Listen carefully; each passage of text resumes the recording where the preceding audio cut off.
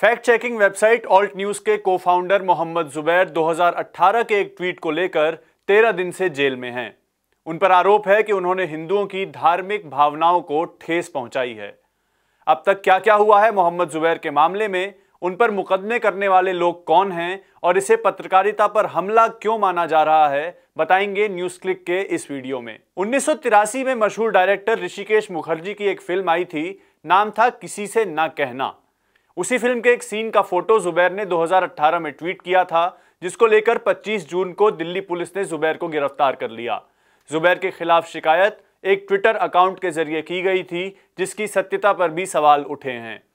Delhi police ने जुबैर पर धार्मिक भावनाएँ आहत करने, आपराधिक साजिश करने, विदेशों से पैसा मंगवाने जैसे आरोप लगाए हैं।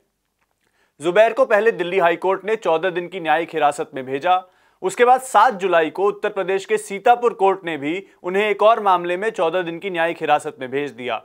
8 जुलाई को सुप्रीम कोर्ट ने जुबैर की जमानत याचिका पर सुनवाई की और सीतापुर मामले में उन्हें पाँच दिन की अंतरिम जमानत दे दी है। पाँच दिन बाद इस पर दोबारा सुनवाई की जाएगी। इसके साथ ही सुप्रीम कोर्ट ने यूपी पुलिस से जवाब भी मांगा है। जुबैर के खिलाफ सीतापुर में 3 जून को हिंदुत्ववादी संगठन राष्ट्रीय हिंदू शेर सेना ने एफआईआर दर्ज करवाई थी। आरोप था कि जुबैर ने हिंदुत्ववादी नेताओं, यति नरसिंहानंद, बजरंग मुनि और आनंद स्वरूप को हेट मोंगर कहा है।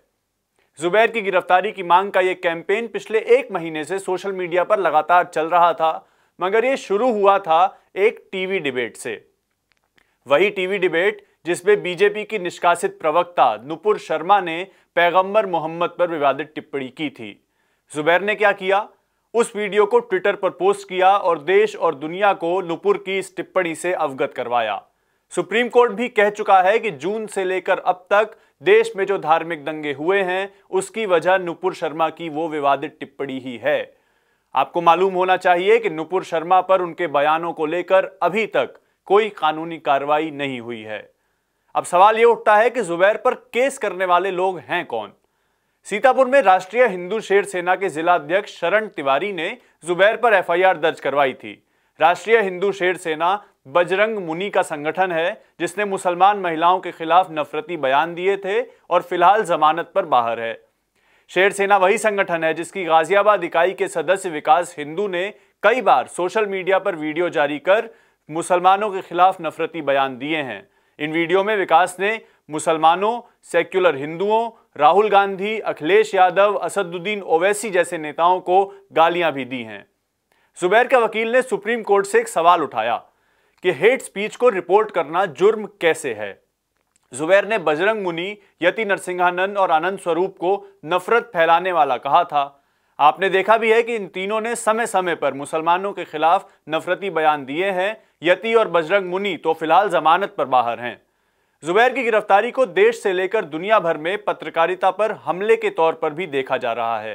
भारत के तमाम मीडिया, नागरिक संगठन, यूएन और जर्मनी के विदेश मंत्रालय तक ने इस गिरफ्तारी की निंदा की है और कहा है कि पत्रकारों को उनके काम की वजह से जेल में डालना गलत है। इस मुद्दे पर हमने वकील कंवलप्रीत कौर से बात की।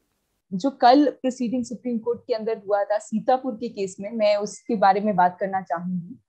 उसमें जुबैर ने हेट स्पीच को रिपोर्ट किया था। और जो ऑल्ट न्यूज़ का पूरा काम है, वो यही है कि मिस इन्फॉर्मेशन जितना है और जितना भी सोशल मीडिया पे जो फॉल्स न्यूज़ या कोई फ्रिवलेस क्लेम्स को फ़ाइल किया जाता है, या इवन जो सर्कुलेट होते हैं या कोई भी स्पीच जो हेट को प्रोवोक करता है, उसको वो रिपोर्ट करते थे और जुबेर काफ़ी अरसे से पुलिस को लिखते थे, ट्वीट में टैग करते थे और कहते थे कि देखिए, ये यहाँ पर हो रहा है, आप इस एरिया का जो कंसर्न पुलिस स्टेशन है, उसको लिख के वो कहते थे, आप इस पे एक्ट करिए। सिमिलर उन्होंने सीतापुर के अंदर किया। खैराबाद पुलिस स्टेशन में वहाँ पर एफ़ आई उनके ऊपर रजिस्टर हुआ था। इस बात पे कि उन्होंने कुछ तीन जो कहा जाता है कि कहा जा रहा है बहुत लोगों की तरफ़ से कि हिंदू धर्म के जो महंत हैं, उनको जुबैर ने हेट मोंगर बोल दिया। और हेट मोंगर बोलना 295 ए के तहत उनके ऊपर ये धारा लगा कि हेट मोंगर बोलने से जो कॉमन जो जनता है, उनकी रिलीजियस फीलिंग्स जो है वो हर्ट हुई हैं और उससे वो अपना, अपमानित फील कर रहे हैं। और कल सुप्रीम कोर्ट में हमारा यही कहना था जो मिस्टर गंजालवेज ने आर्ग्यूमेंट किए और हमारी टीम की तरफ़ से कि क्या जुबैर की ट्वीट में कहीं से भी कहीं से भी किसी के भी रिलीजियस फीलिंग को हर्ट किया जा सकता है, क्या वो खुद 295 ए का क्राइम है? इनफैक्ट जुबेर ने खुद हेट स्पीच को रिपोर्ट किया। जुबेर पूरी तरह से एक कॉन्स्टिट्यूशन के पक्ष में डेमोक्रेसी के पक्ष में अपना काम, सच का काम कर रहे थे। और इनफैक्ट जिन लोगों ने ये स्पीच दी, वो तीन लोग, जिसमें यति नरसिंहानंद से लेके बजरंग मुनि आनंद स्वरूप, ये तीन लगातार हेट स्पीचेस दे रहे हैं। उसमें एक जो बजरंग मुनि है, उन्होंने तो इनफैक्ट मुस्लिम महिलाओं के रेप करने की वीडियो पे बात किया है और उसके ऊपर नेशनल कमीशन ऑफ़ विमेन तक ने सीतापुर पुलिस को लिखा। इस बात को रिपोर्ट करने में उनके ऊपर सीतापुर पुलिस ने उनको, उनके लिए पुलिस कस्टडी की मांग की थी ताकि वो जाकर वो फ़ोन को ले पाए। और हमारा ये कहना है कि in case I am admitting yes, i have made this tweet, but is it a crime to report hate in the society to stand up for justice, to stand up for democracy. और यही कुल मिलाकर arguments हमारे side के थे। और दूसरा एक ये भी है कि काफ़ी बातें हो रही हैं कि कल जो दूसरी साइड है, उन्होंने इस बात को कहा कि ये सारे जो लोग हैं, जिनको जुबैर ने हेट मोंगर बोला, उसकी वजह से उनकी, तीनों की जो रेपुटेशन है या उनकी जितनी भी फॉलोइंग है समाज में वो कम हो रही है, इससे वायलेंस प्रोवोक हो रहा है law and order situation change जो है, वो खराब हो रहा है। लेकिन हमारा यही कहना है कि जुबैर को लॉ एंड ऑर्डर सिचुएशन को मेंटेन करने के लिए इस चीज़ को रिपोर्ट कर रहे हैं, क्योंकि एक डेमोक्रेसी में, एक आज़ाद मुल्क में हेट स्पीच का और एक ऐसी स्पीच का जो एक कम्युनिटी को टारगेट करे, जो उस कम्युनिटी के खिलाफ वायलेंस को ग्लोरीफाई करे, उसको लेजिटिमाइज करे, वो गलत है। और यही बात जुबैर ने भी अपने ट्वीट की तरफ़ से कही थी। इनफैक्ट उन्होंने लगातार सीतापुर पुलिस को टैग भी किया, जिसपे सीतापुर पुलिस ने रिपोर्ट भी किया कि हाँ ट्विटर पे ही कि हाँ हम इसके ऊपर कार्रवाई कर रहे हैं। और जो लोग इस बात को कहते हैं कि हम कॉन्स्टिट्यूशन को नहीं मानते, हम सुप्रीम कोर्ट को नहीं मानते, जिनके ऊपर कंटेम्प तक के केस चल रहे हैं, उनको हेट मॉन्गर बोलना कैसे क्राइम है?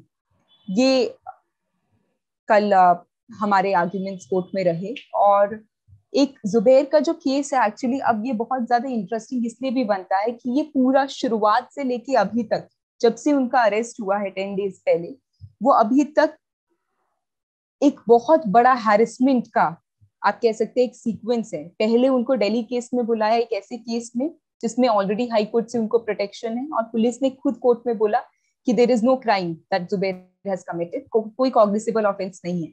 Then he is arrested in some other case of 2018 का कोई ट्वीट जो भी एक मूवी की फोटोग्राफ है।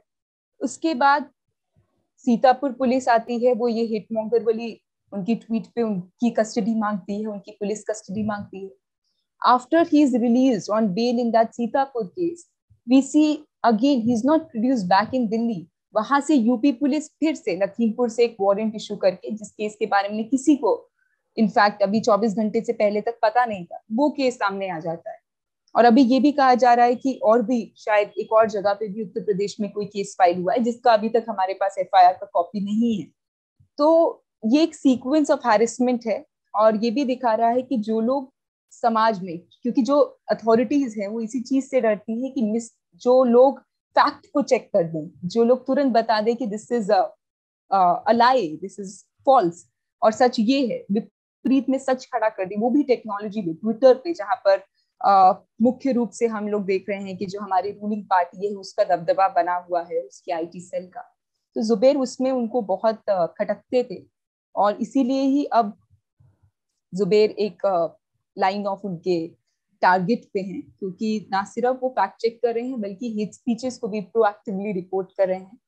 और मैं मानती हूँ कि अभी ये I I mean I am hoping कि जितने भी कोर्ट हैं, वो इस चीज़ को देखें कि ये फैक्ट चेकिंग या हेट स्पीच को रिपोर्ट करना या अपनी जो वो अपनी बात रख रहे हैं, जिसमें वो एक्चुअल में डेमोक्रेसी की बचाने की ही बात कर रहे हैं, वो कहीं से कोई क्राइम नहीं है, चाहे वो 295 ए हो 153 ए हो या इस तरह के और भी सेक्शंस जो उन पे अब रैंडमली इम्पोज किए जा रहे हैं।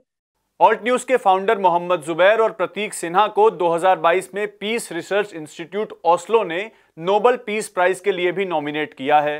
ऑल्ट न्यूज़ द्वारा किए जा रहे फैक्ट चेक की वजह से बड़े स्तर पर फेक न्यूज़ का खात्मा लगातार हो रहा है।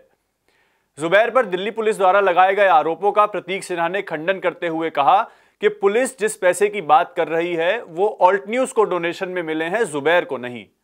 2021 में कमिटी टू प्रोटेक्ट जर्नलिस्ट की एक रिपोर्ट आई थी। उसमें बताया गया था कि पत्रकारों पर उनके काम की वजह से सबसे ज़्यादा हमले हमारे देश भारत में होते हैं। ऐसे में जनता यही सवाल पूछ रही है कि अपराधी है कौन? नफरती बयान देने वाले हिंदुत्ववादी नेता या उन बयानों को रिपोर्ट करने वाले पत्रकार मोहम्मद जुबैर? ऐसी अन्य वीडियोस के लिए देखते रहिए न्यूज़ क्लिक डॉट इन और हमको फॉलो कीजिए यूट्यूब, फेसबुक, ट्विटर और इंस्टाग्राम पर।